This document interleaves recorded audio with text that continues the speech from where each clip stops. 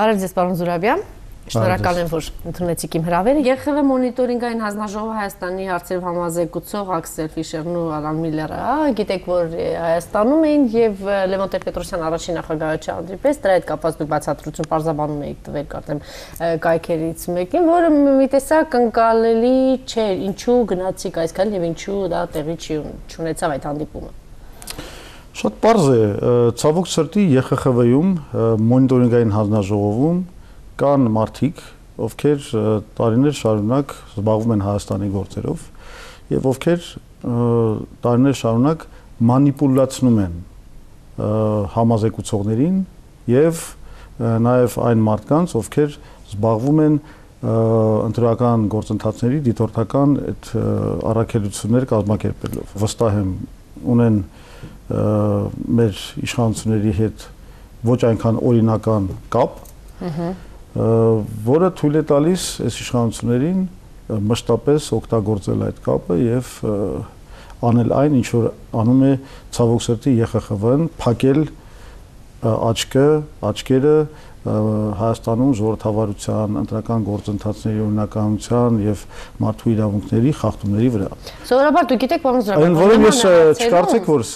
այս հարցերը չեմ բարձրացրել հենց ԵԽԽՎ-ում։ Լիա գումար նիստում ես մի քանի անգամ դրա մասին խոսել եմ։ Ես եւ ես ունեմ այնտեղ դաշնակիցներ, ունեմ կան մարդիկ, ովքեր համաձայնվում են եւ հասկանում են, որ ինչ որ բան պետք է փոխել։ Բայց այդ պայքարը դեռ շարունակվում է եւ ես չեմ կարող ասել, որ կարողացել ենք այդ պատը քանդել։ Բայց տարիներ շարունակ մարդիկ եկել են, հանդիպել են Տեր-Պետրոսյանի հետ, Տեր-Պետրոսյանը բացատրել է իրավիճակը, ցույց է տվել լուծման ուղիները, հետո այդ մարդիկ գնացել են, կամ կաշառվել են, կամ այլ ազդեցությունների տակ են ընկել։ Դուք մոտարապես մեղադրում եք, որ ձերոնք կամ գործարքի մեջ են գնում, սա նշանակում է, թե գործարքի մեջ են գնում կաշառված մարդիկ են։ Սա շատ լուրջ հիմնարար, այսինքն մեղադրանք է։ Դրա համար կամ պիտի ձեզ պատասխանատվության ենթարկեն կամ դուք պիտի իրենց Ես պատրաստ եմ ցանկացած պատասխանատվության ենթարկվել, բայց ես ուղիղ եւ ոչ անուն եմ տալիս, ոչ էլ կոնկրետ փաստի մասին եմ խոսում, որովհետեւ այսպեսի դատարանին հանձնելու ապացույցներ չունեմ։ Խոսքը այն ինֆորմացիայի մասին է, որ մենք տիրապետում ենք լինելով շատ լուրջ հարաբերությունների մեջ ԵԽԽՎ-ի տարբեր կառույցների հետ։ Մի քիչ, մի քիչ բացեք, հակառակ պարագայում կընկալվի անպատասխանատու հայտարարություն, դե այսինքն շատ թող ընկալվի, ես իմ խոսքերի համար շատ լավ։ Որտե մի կառույց, որը եկել է եւ պիտի, ասենք, մոնիտորինգ անցկացնի, ուսումնասիրի, ներկայացնի, հետո զեկուցի, թե ժողովրդավարական իրավունքի եւ այլն եւ այլն ինչ է տիրում Հայաստանում, այսինքն հենց իրենք այդպեսին են, այսինքն իրենք մեկը լինի, այսպես ասած, իրենց կարգի վրա։ Իսկ ինչ է զարմանում։ Օրինակի համար երբ որ ընդունվում էր քաղաքական բանտարկյալների չափանիշների սահմանման այդ բանաձևը 1900 բանաձևը գիտեք ինչ քվեարկություն տեղի ունեցավ ուրեմն ադրբեջանական լոբին մոբիլիզացրել էր իր ամբողջ կարողությունը եւ տարբեր թուրքականը եւ այլ լոբիներ հակադեմոկրատականներ մտել են խաղի մեջ եւ ստացվեց որ բանաձևը անցել է 80-ը 80-ի դեմ ձայներով այսինքն մի ակնհայտ հարց որտեղ տարակուսանք չպետք է լիներ, որովհետև խոսքը գնում էր շատ կարևոր մի գործի մասին, որ Եվրոպայի խորհուրդը թիկուն կանգնի քաղբանդարկյալներին, սահմանին նրանց համար չափանիշներ ու պատկերացնում եք արժեքների իրավունքի, ազատության, դեմոկրատիայի, ինչի մասին եք 80 մարդ։ Ահա, լավա դուք եք ասում այդ ամենը։ Պաշտպանեց այդ արժեքները, 80 մարդ դեմ էր այդ արժեքներին։ Շատ հստակ բաժանար գիծերի դեպ։ Բայց դա չի նշանակում, որ հիմա մենք ուղղակի ասում ենք, որ այո, կան հակադեմոկրատական լոբիներ, որոնք շատ կեղտոտ խաղերի մեջ են,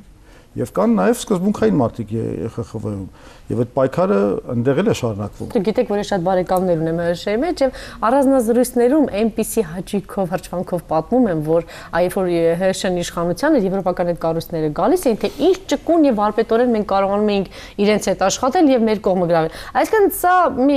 լուրջ խնդիր է, որ գոյություն է ունեցել 25 տարի առաջ, այսինքն մենք մենք կոնկրետ այդ կառույցների հետ առնչվել ենք անկախության տարիներից հետո։ Այսինքն այդ կառույցները այն գլխից էլ այսպես ասած հնարավոր է եղել դուք ասեք մանիպուլյացիայի ենթարկել հնարավոր հնարավոր է եղել։ Ես չգիտեմ դուք ում հետ եք զրուցել, ես նման մարդկանց Հա, դե հիմա ես եթե անուն տակ, ես կասեմ համապատասխան ձևով համարժեք կպատասխանեմ, բայց քանի որ չգիտեմ դուք ում մասին եք խոսում, թույլ տվեք անցնենք մյուս թեմային։ Չէ, վստահ եղեք, որ նախ առանձնազրույցի բանը ես հիմա չեմ հրապարակյանը, բայց ես ես վստահ, չէ, ես ես վստահեցնում եմ, ես ես կասեմ, ես ես վստահեցնում, չէ, ես ուզում եմ ասել, որ այս խնդիրը այսինքն այն գլխից եղել է։ Հետևաբար, եթե եվրոպական կառույցները այսպեսին են, արտաքին հարցերում էլ մենք գիտենք, որ բոլոր ուժերը այդ թվում հիմնականում բոլոր ուժերը այդ թվում նաև դուք հայացքը ուղեցինք ԵՏՄ-ի հետ կապված Ռուսաստանի հետ համաձայնենք։ Հիմա դրա դրանից բխող շատ հարցեր պիտի հնչեցնեմ, բա այս դեպքում իջե մենք մնում ենք մենք մեզնով, ոնց եք պատկերացնում։ Իրեք ինչ, սև սպիտակ չի աշխարհը։ Եվրոպայի խորհրդում էլ ասեցի կա այդ պայքարը սկզբունքների եւ կոռումպացված լոբիների միջև Հայաստանում էլ կա այդ պայքարը, ամենտեղ էլ դա կա։ Ուղղակի ինչ որ երկրներում այդ պայքարը այնուամենայնիվ շատ ավելի հաջող է ավարտվում սկզբունքայնության, արդարադատության, օրենքի, չգիտեմ, ազնվության համար Մյուս երկրներում ցավոք սրտի այդ երկրների շարքին պատկանում է այսօր Հայաստանը, հաղթում է կոռուպցիան, հաղթում է բիրտ ուժը, ստորությունը, կեղծիքը խոսեցիք սրա մասին իմ առաջինը մտքից հա եկա որ դուք այն ուժն եք որ ձեր հայացքը ուղեցիք դեպի Ռուսաստան եւ համաձայն եք գոնե այս հարցում արտակին հա այս հարցերում համաձայն եք իշխանության քաղաքականության հետ հիմա մյուս կողմից երբ որ Եվրոպային մենք այսպես հիմա մոտավորապես դաս տալու պես բանը կամ այսպես ասած այս կառույցին ճիշտ տեղն ուղարկեց առաջին նախագահը Տեր-Պետրոսյանի դոկտրինը եղել է պահպանել բալանս հավասար հարաբերություններ բոլոր ազիմուտներով, համարյա դեգոլյան տերմինոլոգիայով եմ խոսում, այսինքն Ռուսաստանի հետ, Եվրոպական միության հետ, Միացյալ Նահանգների հետ, ինչու՞ չէ Իրանի հետ եւ շատ կարեւոր նաեւ Չինաստանի հետ։ Բացի դրանից էլ փորձել զարգացնել եւ կարգավորել մեր հարաբերությունները մեր անմիջական հարևանների հետ։ Մոտավորապես ինչ որ անում է այսօրվա իշխանությունը։ Ինչ որ անում է այսօրվա իշխանությունը։ Շատ անհաջող ձևով է անում եւ ես դա կարող եմ ապացուցել։ Դոկտրիններով շատ նման բան է, ասացիք են ինչ որ կա այսօր։ Ես նախ նախ եւ առաջ ասեմ, որ այդ դոկտրինի հիմնադիրը Տեր Պետրոսյանն է եղել եւ ով շեղվել է այդ դոկտրինից այնքան հարվածներ է ստացել, որ հետո ստիպված վերադարձել է ճիշտ դոկտրինի։ ԵՏՄ-ի հետ կապված հա ստորագրեցին համաձայնության եկան եւ ընդամենը 1-2 ամիս առաջ մենք տեսանք, որ Եվրոպայում էլ հնչեց այդ միտքը, երբ որ ժամանակին ամիսներ առաջ, 1 տարի առաջ ասում էին մոռացեք ձեր այսպես ասած եւ եւը, Եվրոպան հասկացավ, որ այսպես ասած ավելի լավ է եւ եւի այս տարբերակը եւ ոչ թե կորցնել ընդհանրապես Հայաստանը։ Ես գիտեմ, որ այդտեղ սխալներ արել են բոլոր խաղացողները, այդ թվում Եվրոպան։ Եվրոպան հատկապես Եվրոպայի որոշ խաղացողներ, օրինակ Լեհաստանը, Լիտվան, բոլոր այն երկրները, որ մի քիչ ավելի հակառուսական տրամադրություն ունեն, իսկ բոլորը չեն այդպեսին։ Օրինակ Ֆրանսիան, Գերմանիան եւ Իտալիան շատ ավելի հանգիստ, ավելի բալանսավորված դիրքորոշում են եղել եւ երբեք չեն ուզեցել գնալ կոնֆրոնտացիայի Ռուսաստանի հետ, բայց հաղթեց այդ շվեդա-լեհական գիծը, փաստի առաջ են կանգնել, երբ որ այդ կոնֆրոնտացիան գնաց այնքան հեռու, որ սկսեց այս ամբողջ ուկրաինական ճգնաժամը, որտեղ արդեն Եվրոպական միությունը ստիպված էր թիկուն կանգնել Ուկրաինային։ Բայց ինչ ստացվեց։ Այս process-ից ոչ ոք չշահեց պարտվեց եւ Ռուսաստանը, եւ Ուկրաինան, եւ եւ Եվրոպական միությունը։ Այո, կանխատեսվում էր որ կլինի։ Լավ, Ռուսաստան ԵՏՄ-ի հետ կապված հիմա դուք ասում եք ողջունեցիք, չէ՞ որ ԵՏՄ պիտի գնա եւ հատկապես Մենք չենք ողջունել, կներեք։ Եկեք ավելի ճշգրիտ խոսենք։ հետ կապված եւ քվեարկել ենք։ Ահա։ Հոգուտ ԵՏՄ-ին անդամակցելու պայմանագրին, պայմանագրին եւ པարզ ես անձամբ ֆրակցիայից ներկայացրել եմ թե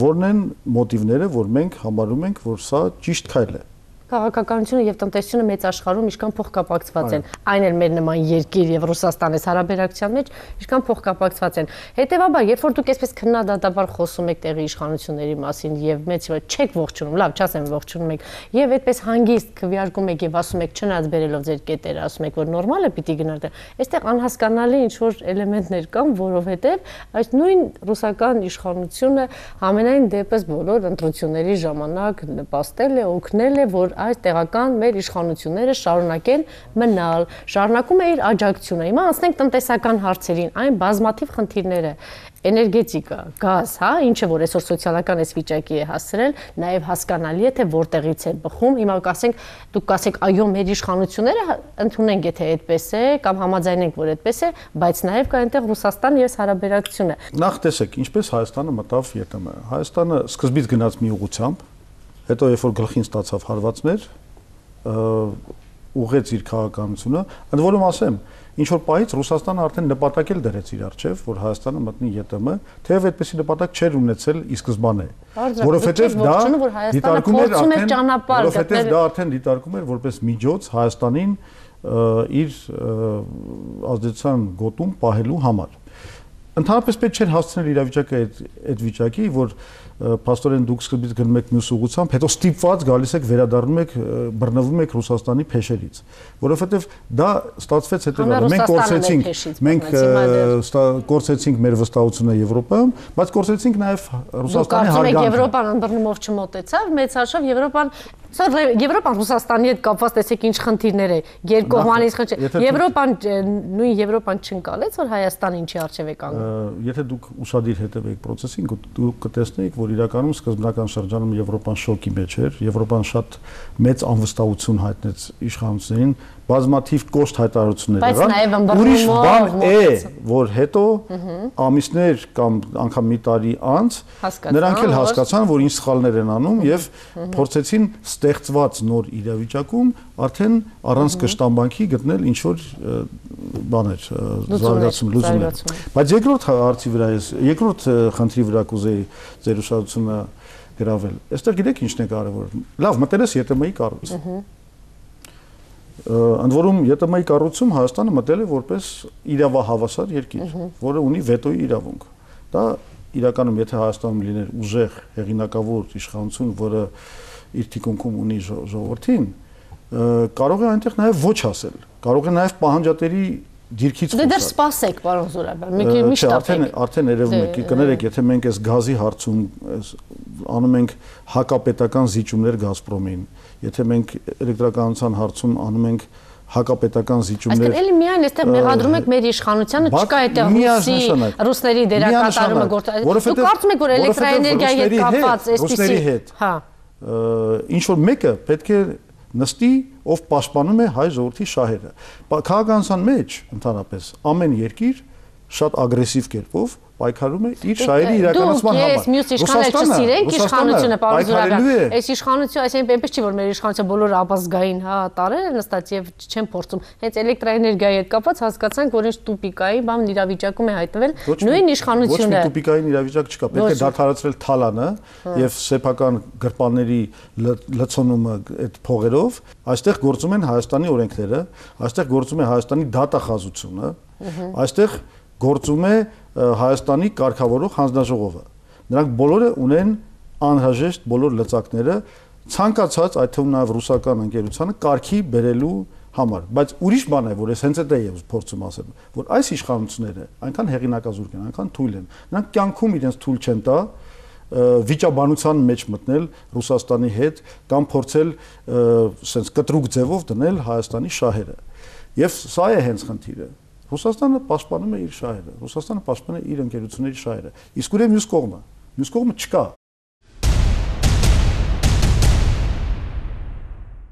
Ես հիշում եմ, որ Քլինտոնի օկնականը, երբ որ գիրքն էի ընթերցում, խոսում էր նրա մասին, որ Ելցինը անդադ ասում էր պետք է անդադ օգնենք Ելցինի, պետք է օգնենք այսպես, այսպես, որովհետև ընդդիմությունը այնքան ուժեղ է, կարող է գալ, վերցնել, կարող է գալ, այս հիմա այսինքն այդ ընդդիմությունը մի զգոն է պահել այն մյուս երկրին, ում հետ այդպիսի հարցեր հարցեր ունեն։ Հիմա այստեղ էլ այդ զգոն պահող ուժը ամենակարևոր ուժը, դուք գիտեք, որ ընդդիմությունն է։ Լավ, եթե ընդունենք, որ ինչպես դուք ներկայացնում եք, իշխանությունը այսպեսին է, ուր է ընդդիմությունը։ Ինչը վերաբերվում է էլեկտրոէներգիային, եթե առավոտվանից իրիգուն խոսացող կա, դա մենք ենք։ Մենք սկսեցինք ազգային ժողովի նիստը փորձելով հավաքել 44 ստորագրություն, որ արտահերտ ձևով այդ հարցը քննարկվի ազգային ժողովում։ Դուք տեսաք, ով միացավ, ով չմիացավ։ Մենք ամեն ինչով օգնեցինք ոչ թալանին կազմակերպությանը, ամեն ինչով, մեր բոլոր ռեսուրսներով բազմահազար երթ անցկացնել մայիսի քանիսին էր, արդեն լավ չեմ հիշում, երբ որ առաջին անգամ ըստ էության էլեկտրոէներգիայի գների բարձրացման շուրջ հայ ժողովուրդը դուրս եկավ փողոց։ Նման բան երբեք չէր եղել։ Այս պարագայում ձեր պայքարը, չգիտեմ, ազնիվ է եւ մղումներն էլ ազնիվն են, ես ասում եմ սոցիալական այս կարևոր լուրջ հարցներ կա, պիտի բոլորովին այլ աղմուկ եւ պայքարի այլ ձև եւ դե ճանապարհներ, այսինքն այդ պիտի Հիմա դուք եկեք դրա մասին խոսենք։ Նման նման պայքարը, այսինքն մարդկանց ազատության հրապարակում հավաքելը ունի իմաստ միայն այն դեպքում, եթե դուք ունեք քաղաքական գործընթաց, որը շանս ունի տանելու դեպի Օ, այսինքն այս այս կարևոր այս հարցերը դուք համարում եք որ չեք լսում։ Լավ, ավարտեք։ Ես ասացի, որ այդ գործով մարդ հավաքելը հեշտ է։ Ուրիշ բան է, որ դեռ երաշխավորված չի վերջնական նպատակի իրագործումը։ Դժվար է ասել, չէ՞։ Իսկ իսկ բանի գործով, այսինքն էլեկտրոէներգիայի թանկացման գործով։ Օրինակ ընդհանրապես անցյալ տարի մենք էլի փորձեցինք ժողովրդին հանել այդ խնդրով, դուրս եկավ 200 մարդ Չեն հավատում ձեզ, չեն վստահում ձեզ։ Լավ, մեզ չեն հավատում, լավ, մեզ չեն հավատում, թող հավատան այն երիտասարդներին, ովքեր Դժբախտությունն է, որ ոչ մեկի չեն հավատում։ Եթե ես ինչ որ բաներ ասեի, որ 10 տարի առաջ էր, մեր հիշողությունն էլ արդեն բանա կորել է եւ այլն եւ այլն, դուք իրավացի կլինեք, բայց ես ասում եմ, վերջին մեր միտինգը եղել է այս տարվա մարտի 1-ին։ Այնպես չէ որ այդքան շատ մարդաշատ, չգիտեմ։ Ես չեմ ասում որ տրակում էր ազատության հրապարակը, բայց եթե ինչ որ մի քաղաքական ուժ կա, որ կարող է massական միտինգներ անցկացնել, դա մենք ենք։ Եվ այդ օրը մենք անցկացրեցինք massական միտինգ։ Լավ, այս հարցերի մասին խոսելու եմ, պարոն Զրաբյան, քանի որ դուք այսպես մի քիչ շեղվեցինք, նաև կոնկրետ ձեր անձի հետ կապված, հա, շատ մեղադրանքներ կա, որ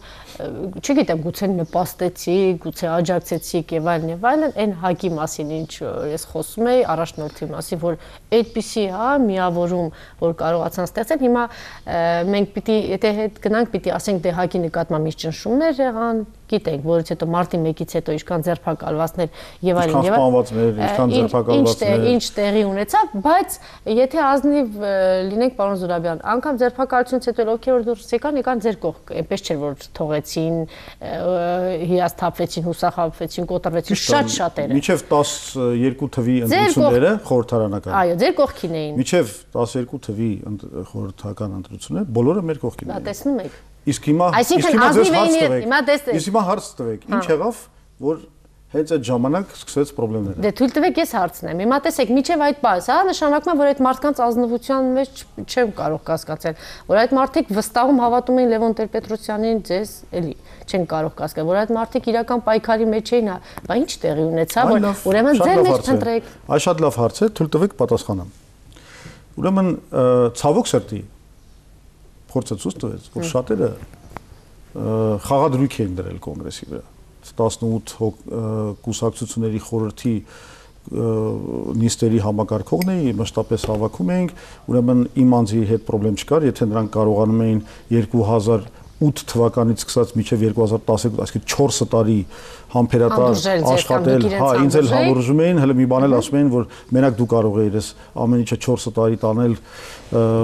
շատ նորմալ աշխատացնել ես մարմինը եւ այլն եւ այլն։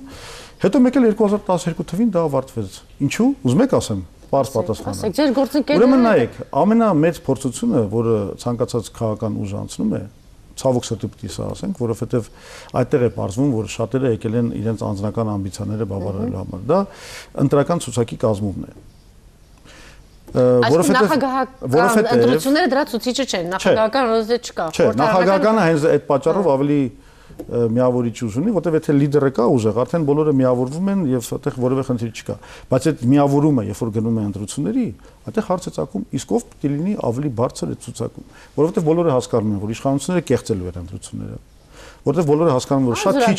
որ շատ քիչ, բոլորը ընդունում են։ Ինչ որ մի բան այն չէր, հակի ինչ որ մի բան այն չէր արդեն հակի ներսում, միջև ցուցակների կա դուք սկսեցիք ձեր ներսում արդեն դավաճանների անուններ տալ։ Երբ։ Օրինակ Մի հատ օրինակ բերեք։ Օրինակ Խաչատուր Կոկոբելյանի անունը, հետո Արարատ Զուրաբյանը, որ այդքան տարիներ ՀՀՇ-ն պահել է, հավատարմության, գոնե հավատարմության մեջ չպիտի կասկածեի։ 2010 թվականին ներ ՀՀՇ-ական, այսինքն ՀՀՇ կուսակցության ներսում Ձեզանից հեռու չէին, չէ՞ մարդիկ, Լևոն Պետրոսյանից հեռու չէ։ Եղած կոնֆլիկտեր, որը հանգուցալուծվեց։ Դա եղավ ՀՀՇ-ի ներսում։ Պետք է կազմեն միասնական ցուցակ։ Ընդ որում ամեն մեկը ինքը իրան պատկերացնում է ցուցակի վերևը։ Լևոն Տեր-Պետրոսյանը անբեկանելի հեղինակություն է այդ այդտեղ հստակ է։ Լևոն Տեր-Պետրոսյանը չէր կարող ասել այս է ցուցակը։ Ոչ թե Լևոն Տեր-Պետրոսյանը չէր կարող ասել, այլ 18 քաղաքական ուժերը խորհրդով երբ որ չկարողացան այդ հարցը լուծել, երկարատև մեկ ամիս տևող վեճերից հետո նրանք դիմեցին Տեր-Պետրոսյանին տալով իրեն մանդատ, որ ինքը անձամբ կազմի այդ ցուցակը։ Երբ որ երբ որ այդ ցուցակը կազմվեց, բարձվեց, որ շատերը զգացին, որ իրենք լավ չեն գնահատվել կամ ասենք այն տեղում չեն, որ իրենք իրենց պատկերացնում են։ Ու այդտեղ սկսվեց այն process-ը, որ շատերը ուղակի նեղացած, կներեք, ցավոք պետք է ասեմ, նեղացած իրենց ստացված տեղից սկսեցին կոնֆրոնտացիայի մեջ մտնել հայ ազգային կոնգրեսի։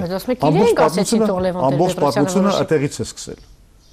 Եվ այսինքն հետա իսկ իսկ իսկ երբ որ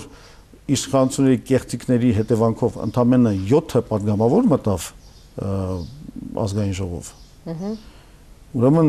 բավականին մեծ չափով մարդիկ դուրս մնացին։ հա- Համարեցին, որ այլևս այս խաղադրույքը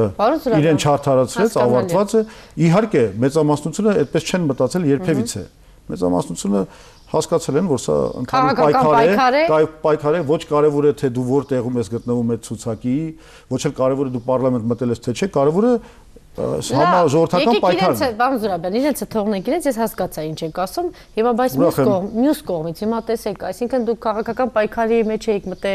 մարդկանց հետ, որոնք այդպես պիտի շուկայի հետո դրան վերածեին։ Գիտեք ինչ, երբ որ շարժումներ են, երբ որ շարժումներ են ձևավորվում, դրանք շատ հաճախ կրում են տարերային բնույթ։ Չկա անգամ անգամ այդ ամբողջը միավորող ֆիգուրը, նա չի կարող տոտալ վերահսկողության տակ վերցնի, թե ով կմիանա, ով ինչ ծրագրով կգա, չի հեռացել։ Ես դες դա կարող եմ շատ հստակ ցույց տալ, որովհետև ես ոչ միայն ղեկավարել եմ այդ խորհրդի աշխատանքները, այլ նաև ղեկավարել եմ հայազգային կոնգրեսի տարածքային կառույցները, կներեք, համատեղ ստեղծված կառույցները, եւ ես դες կարող եմ ասել, որ այդ կառույցներում մենք կորուստներ չենք ունեցել։ Այսինքն, այսինքն massական այդ աջակցության բազան Մենք չենք կորցրել։ Մենք կորցրել ենք առանձին մարդկանց, ամեն մեկը մի 10 Չեմ կարծում, այսինքն հիմա դուք ուզում եք ասել, որ շրջաններում այդ ձեր կառուցներում ձեր այդ նույն աջակցությունը կա։ Ըստ էության ասեմ, բոլորը երբ որ դուրս եկան, բոլոր դուրս եկողները երբ որ դուրս եկան, մեր կորուստը մազուտ massական բազայի տարածքային կառույցների եւ այլն եւ այլն կարելի էր գնահատել մոտավորապես 10%, 10-15։ Պարոն Զուրաբյան, դուք պատկերացնում եք, եթե ես չեմ ասում սովորական հերոստատեղ, ձեր գործընկերները ձեզ լսեն, այն քաղաքական ուժեր, որ ձեր ճանապարհը եւ հիմա դուք ասում եք, որ 10 10% ընդհանրապես այդպես գնալ։ Տարածքային կառույցների մասն է, աջակիցների, համակիրների անհատական բազայի մասն է։ Ամենը 10%-ն է այս ընթացքում, այդքան քաղաքական ուժ, 18 ուժ, որից չգիտեմ, քանի կուսակցություն դեզանց երացավ եւ դա պայման պայմանավոր Կներեք այդ 18 կուսակցություններից դուք շատ լավ գիտեք, մեծամասնությունը դրանք կամ մարդ կուսակցություններ էին, կամ ասենք 3-4 հոգանոց կուսակցություն։ Առիթ էլ ունեցաք 1-2-ի հետ կապված ասել, որ ոչ, այ իրենք այդպեսին չեն։ Ես հիշում եմ 1-2 կուսակցության հեղինակն ասեցին, արդյոք դա մեզ է առաջում, դուք ասել եք չէ, ձեր հետ կապ չունի։ Լավ, ձեր մեղավորությամբ Այսինքն ես օբյեկտիվ եմ։ Ես օբյեկտիվ եմ, եթե կան կուսակցություններ, որոնք մասսական են։ Ամեն դեպս թերագնահատել ասել այդ ուժերը, որովհետեւ լավ, հիմա ես ուզում եմ ձեր մեղավորության բաժին, այս հարցերը բոլորը որտեղից բխեց, որ երբ որ իմ ասում եք թող մեր իշխանությունը ռուսների նկատմամբ, ես էլ ասում եմ, բայց թող ընդդիմությունն է դուրս գա, որ իշխանությունն ասի, այ Ռուսաստանին չանեմ։ Ընդդիմությունը սխեղտում է եւ ես անզոր վիճակում եմ այն նույն այսպեսի եթե դուք եթե նման գործելու մոտիվացիա էր պետք շարժարից էր պետք երկրին դա պետք է ուրեմն դուք իմացեք որ մենք ցանկացած երկրին դա ուրեմն դուք իմացեք որ մենք ստեղծել ենք մեր իշխանությունների համար մաքսիմալ նպաստավոր վիճակ ինչը չի կարելի ասել վերջին տարիների համար հիմա ես ուզում եմ ձեր մեղավորության բաժ ձեր մեղավորության բաժինը դուք այստեղ ընդհանրապես չեք տեսնում հետո մարդիկ հայտնվեցին ազգային ժողովում բա ինչ տեղ ունեցավ ազգային ժողովում 7 հոգի 7-ը ամեն 7-ն եք, ամեն մեկը նայում է մի ուղությամբ։ Դուք եւ Արամ Մանուկյանը Դուք սխալվում եք։ Նիկոլ Փաշինյանն ինչ ուղությամբ է նայում։ Դուք սխալվում եք, 7 հոգի ենք։ Ահա խմբակցությունը 5 հոգին խմբակցության գործում են որպես շատ համախմբված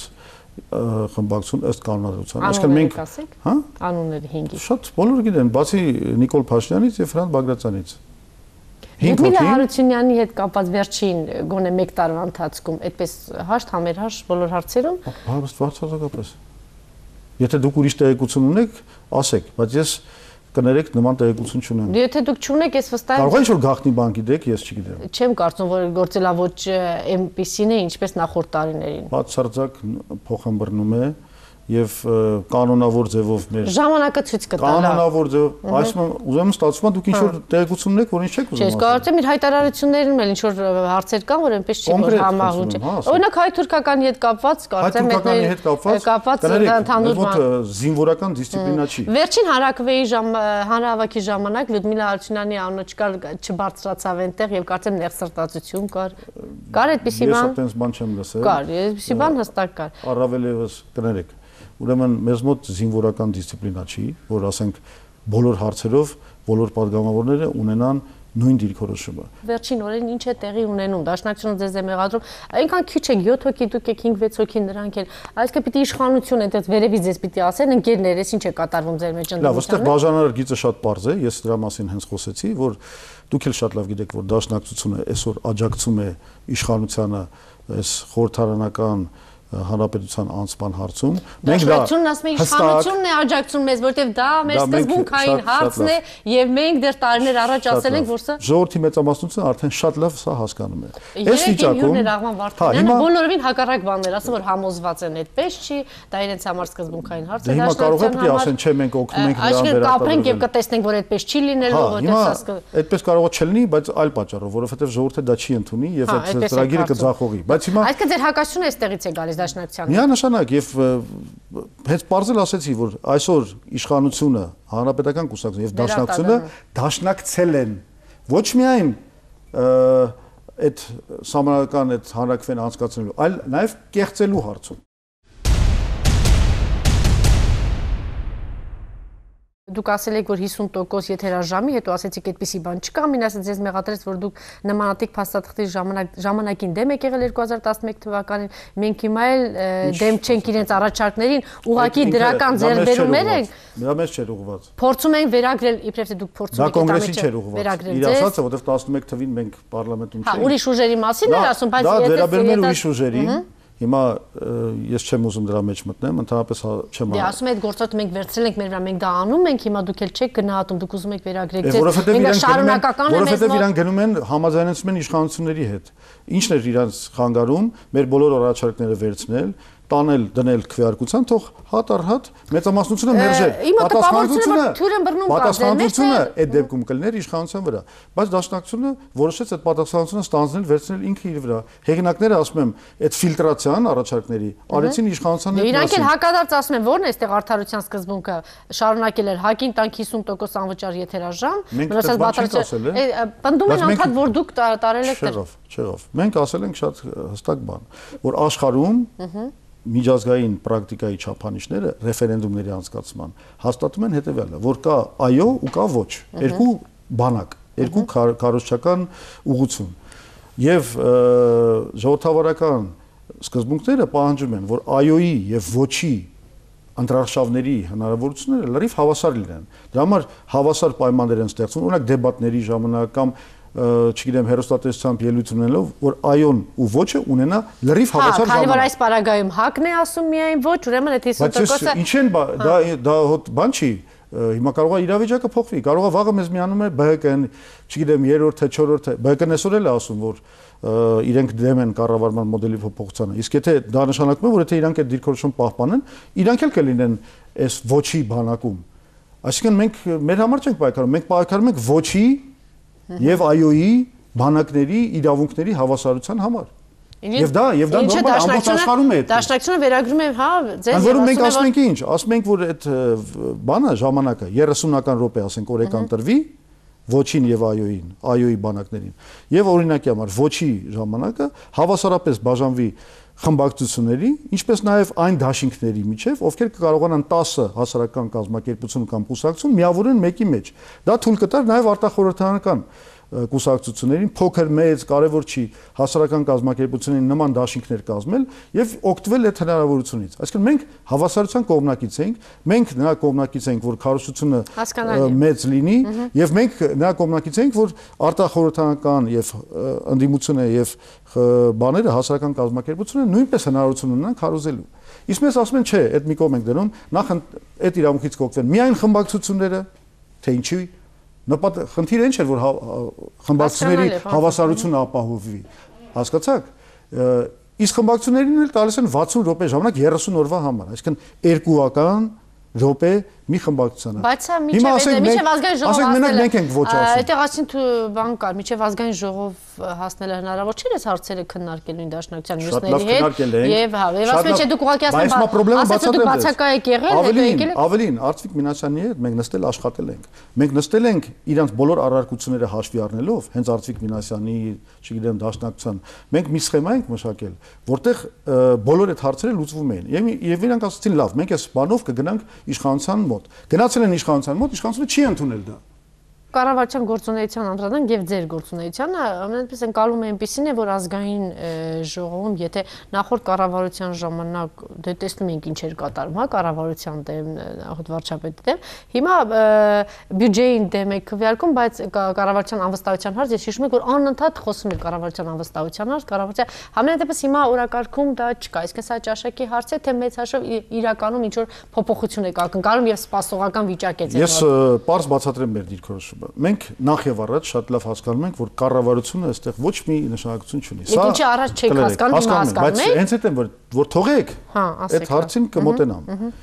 Այսինքն մենք ի սկզբանե ասել ենք, որ մեր նպատակը ամբողջ իշխող ռեժիմի հրաժարականն է, ոչ թե ինչ որ առանձին կառավարության հրաժարականը։ Բայց քանի որ այն ժամանակ կար գործընթաց եւ մենք հույս ունեինք, որ քարյակ է համախմբվելու, այսինքն եւ մենք մեծ հանրահավաքներ կսկսենք, մենք մեր կողմից գնացինք զիջման։ Մենք ասացինք, որ հանուն համախմբման մենք այս պահին որպես միացյալ պահանջ հաստատում ենք այո կառավարության հրաժարականի հարցը։ Իսկ այսօր քանի որ դա չկա, սա մենք, սա մենք հասկանալի։ Լսեք, լսեք, համը եւ սա մենք ուզում էինք սարքել նաեւ համաձայն համանության ընդհանրապես իշխանությունից ազատվելու միջոց, որտեվ եթե դուք հետևողականորեն մի քանի անգամ այնտեղ համանդրական ժամկետներ կան, առաջացնեք անվստահության հարց, այսինքն ամեն մի նոր բերած կառավարության անվստահություն հայտնեք,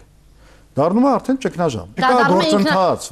որը որը կարող է բերի այտենց նման տակտիկայի հաջողությանը, մենք այդ նման հարց չենք բարձրացնում։ Շատ པարզ է ինձ թվում է։ Հիմա մենք ասենք 7 հոգով բարձրացրեցինք այդ հարցը ինչ հարց ենք լուծելու բացի նրանից որ բարձրացրեցինք Դե ինչի դուք ասում եք եթե մենք այ հիմա պահանջենք ես ում հրաժարականը պահանջեք, տեսեք ինչքան մարդ կտանենք։ Դե պահանջեք նրա, պահանջեք նրա, տեսեք ինչքան մարդ կտանենք։ Եվ երբ կսկսեք մի հատ ինչ հրաժարականի համար ոչ ոք այդ կուտը։ Չէ, չէ, եւ նա պահանջեք եւ սա պահանջեք ու սկսեք process-ը։ Ոչ է ձեզ խանգարում, այսինքն պետք է մի ուրիշը process սկսի միավորվեք եւ այդ process-ը տանեք։ Process-ը հոսես բան չի, sense մատի հպումով դուք process-ը։ Դե դուք ասեցիք մենք որ հենց որ ուզենաք այսպեսի բան առաջ կաշեք։ Ես ասեցի կարանք շատ մարդ հավաքենք։ Ես հենց այդ ասեցի, որ շատ մարդ հավաքելը անիմաստ է, եթե չկա process։ Պրոցեսը շատ ավելի Պրոցեսը ձևավորում է քաղաքական ուժը, օրակարգը ձևավորում է նաև այդ ուժը։ Հիմա ես կարամ բացատրեմ, 3 անգամ մենք պրոցես ոնց կառուցեցինք, որ դուք հասկանաք ինչու 4-րդ պրոցեսը մի քիչ դժվար կլինի։ Հա, որտեվ 3-ը ձախողեցին։ Ну, դեռ կա իհարկե։ Ես ընդունում եմ։ Այսինքն դուք պիտի Ես ընդունում եմ։ Լավ, մեկ արդեն ժամանակ չունեք, ես երկու հարց։ Ես ուզում եմ մի բան ասեմ։ Ամ ճիշտ եք ասում, որ process process-ի աջակցության համար պետք է ժողովրդի հավատ։ Այդ հավատը հիմա խարխլված է իսկապես հիասթափություն կա, հուսալություն կա։ Այնպես չի որ միայն Որներ մեր մեղքը։ Մենք փետրվարին պատրաստ էինք գնալ վերջնական իշխանապողության։ Ես կարող եմ որտեղ այնտեղ մեր մեղքը, որներ այնտեղ մեր մեղքը։ Հիմա հազար բան կարող եմ ասել, որներ ձեր մեղքը։ Մենք չկարողացանք Մենք ճանապարհից չենք շեղվել։ Չկարողացաք ասել ինձ բացի ոչ մի զո եղավ, չկարողացաք միջև վերջ գնալ, հազար մի բաներ կան։ Չկարողացաք համախմբած 4 ամառ։ Բայց ինչ եք ուզում։ Բանին էլ ես էլ ունեմ 10000 պատասխան։ Ուզում եք գնաք, ասենք պայքարի եւ այս ամեն ինչը չլիներ, բա պայքարը շատ լավ գիտեք։ Հասկանալի է, բայց ուզում եմ ասեմ, մենք գոնե մենք գոնե փորձում ենք։ Մենք հետևողականորեն պայքարում ենք։ դե- Մենք Գոնե փորձեցինք, հա, մի հատ այդպեսի հայտնի բան կա։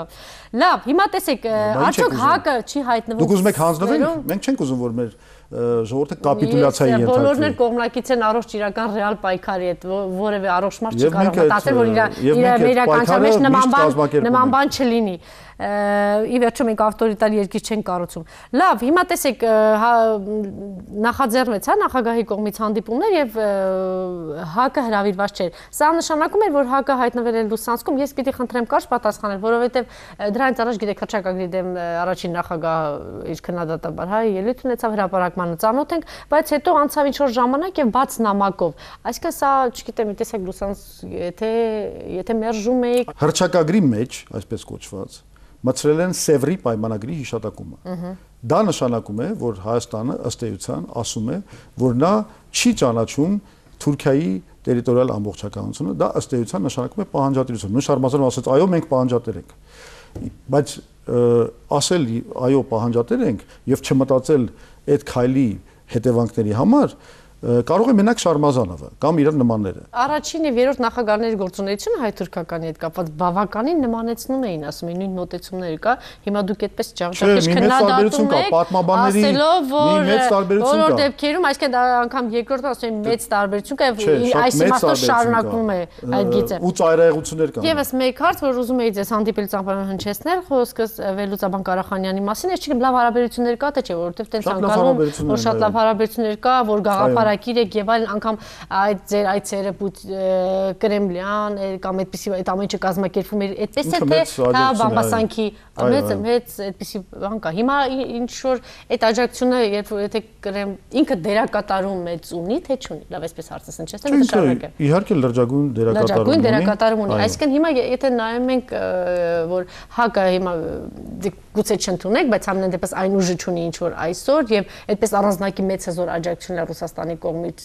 չենք տեսնում։ Ցավոք սրտի, այսպեսի մի խնդիր կա։ Արևմտյան երկրները աշխատում են դիվանագիտությունների դիվանագիտական իրենց ներկայացությունների միջոցով։ Դրա համար մենք հանդիպում ենք, ես էլ եմ հանդիպում, Տեր-Պետրոսյանն էլ է հանդիպում Ամերիկայի դեսպանի, տարբեր երկրների դեսպանների հետ եւ այլն։ Ռուսաստանի դեսպանի հետ մենք կարող ենք իհարկե հանդիպել եւ հանդիպում ենք, բայց Ռուսաստանը մի քիչ այլ կերպ է աշխատում անդիմության հետ։ Մի հատ ինչ որ լրելիային ներքին պրոտոկոլ կա։ Այսինքն դերակատարում Ղարախանյանն իր վրա է վերցրել։ Այլ ուրեմն ներքին լրելիային մի հատ պրոտոկոլ կա Ռուսաստանում եւ ընդհանրապես ԱՊՀ տարածքում, հիմա էլ կարելի ասել Եվրասիական միության տարածքում, որ անդիմության հետ աշխատում են ակնհայտ եւ պաշտոնապես չաշխատել, որ չառաջացնեն իշխանության, այսպես ասեմ, ոչ բարյացակամ վերաբերմունքը կամ գրգռվածությունը։ Բայց դուք պատրաստ եք այդ գործելավոճով աշխատել։ Բայց Ռուսաստանը 2003 թվականից հետո Պատրաստ եք, բայց դուք այդ գործելավոճով պատրաստ եք եղել աշխատել եք։ Կներեք, մենք իհարկե պատրաստ ենք, ինչ ա եղել։ Եթե մենք գիտենք, որ Ռուսաստանը այսպես է աշխատում, ուրեմն Ռուսաստանի հետ պետք է աշխատենք այն կանալով, որ ինքը համարում է արդյունավետ։ Դե ասում եք չի ուզում իշխանության հետ այսպես հարաբերություններ եւ դրա համար այս ոճով է աշխատում, որ Այո, այո, աշխատում են այս ոճով եւ մենք այդ ոճը ստիպ ստիպված ընդունում ենք, որովհետև Ռուսաստանն է վերջը ի վերջո ընտրում թե ինչպես է ինքը աշխատում։ Հիմա Ղարախանյանը վերջին հարցազրույցի ժամանակ ասել էր, որ շատ հետաքրիր է թե այս ով է շատ շատ ավելի կոնկրետ, եթե ինֆորմացիա ունեք, ասել է, որ Պուտինը դեմ է Հայաստանում համանդրական բարեփոխման։ Կարող եք մի քիչ մեզ լուսաբանել ասել, թե այս ինֆորմացիան որտեղից։ Կներեք, ես չեմ կարող Եթե շատ կարևոր բան է սա, ես չեմ կարող որտեղ Հայաստանում մի քիչ դժվար է պատկերացնել համանդրական փոփոխություն, որի հետ, այսպես ասած, Ռուսաստանը Չէ, ճիշտ հասկացեք ինձ, ես կարող եմ ներկայացնել հայազգային կոնգրեսի տեսակետները, որ ես չեմ կարող այլ պետությունների կամ այլ կուսակցությունների քաղաքական ուժերի անունից ինչ որ բան խոսել կամ մեկնաբանել։ Դա Լավ, ձեզ հայտնի չի։ Բարյացական վերաբերմունքը Ինչ կարող է շատ բան հայտնի լինել, բայց ես ասում եմ, ես չեմ կարող որևէ քաղաքական ուժի կամ որևէ պետության բայց սա տրամաբանական տեսակետը լավ այսպես հարցը ներկայացնել պարոն Զուրաբյան տրամաբանական է որ ասենք իրենք այդպես դեմ լինեն սահմանադրության կարծում եք տրամաբանություն կա այստեղ դեմ լինելով այստեղ մերոնք կարող են այդ process-ը հնարավոր է համարում իսկ այդ բարյացակամ քանի որ այդ կապը ասում եք շարունակում եք եւ նորմալ այդպես շարունակվում է շատ լավ այո հենց վերջերս գնացել ենք եւ հետաքրքիր է թե ինչ աչքով են նայում Կրեմլը կոմիտեի այդ նիստերին եւ ես հնարավոր հնարավորություն ունեցա, հանդիպեցինք, խոսեցինք շատ կարևոր Լավ, վերջին հարցս ինչ աչքով է նայում Կրեմլը այսօր հակին։ Դուք նորից պահանջում եք, որ ես ներկայացնեմ Կրեմլի տեսակետը։ Գրացեք, հարցրեք